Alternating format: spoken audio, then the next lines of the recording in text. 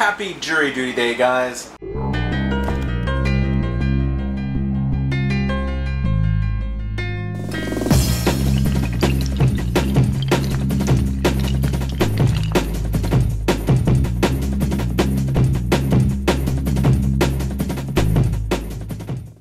So, I'll admit it, I didn't film anything today.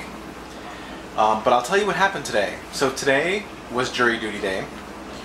So I had to wake up in the morning, drive over to the courthouse, um, which is the next city over, and do the little jury thing. You know, they make you watch a video, tell you how jury duty is, your civic duty, blah blah blah. Don't try to get out of it because as an American citizen you have to do it. All that good stuff. Um, then they broke us up into two groups um, for two different jury pools for two different courtrooms. Um, and this is the first time this happened to me, but um, I was in a jury pool in a different courthouse building because um, there's like the main historic courthouse, which is like probably the original one, um, and then apparently there's a brand new one, you know, a couple blocks down. So I had to get back in my car, drive to this new building, get there, and this is awesome get into the courtroom. They say, okay, everyone who's in the jury pool, come into the courtroom.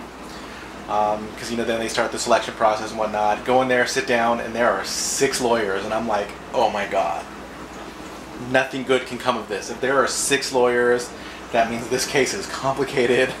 This is a big case. And that means long time. So I'm like, oh God, this is no good, no good.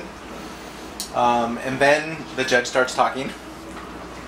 And it turns out um, that the two sides had come to some agreement or whatnot, and the case wasn't done, but all of the charges that um, require a jury were like dropped, and all that was left is something that the case can go on with only a judge.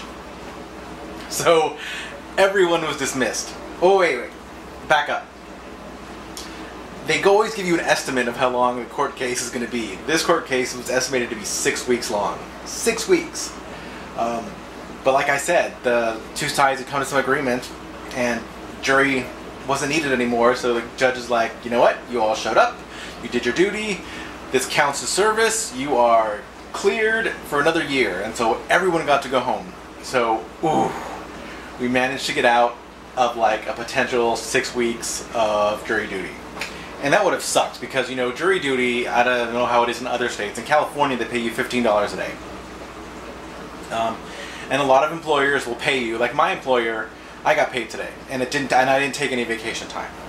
Um, however, my employer only pays for two weeks of jury duty, which means that after those two weeks, I either stop getting paid or I have to use my vacation time. So if I had had to use four weeks of vacation time for jury duty, uh, oh, not cool. Anyway, luckily, didn't have to do it. So it all turned out good, and I'm clear for another year.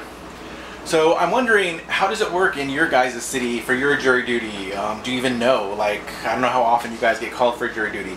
Um, I live in West Sacramento, which is of course right next to Sacramento. However, it's across the river and is in a different county. So I don't live in Sacramento County. I live in Yolo County. Um, and in Yolo County, because it's a small county and it doesn't have a lot of people in it, um, jury service is every year basically. So once you've served, you're exempt for a year, and then you go back in the pool. So my last time I did jury duty was probably like two years ago, maybe coming up to three, I don't know. Two to three, around there. I don't remember the exact dates. Um, but I know in Sacramento County, it's like once you serve, you're good for like either three or five years. I don't remember which. So I'm just curious how it is where you guys live. I guess in bigger metropolitan areas where you have more population, then more people to choose from, which means they can make the time bigger.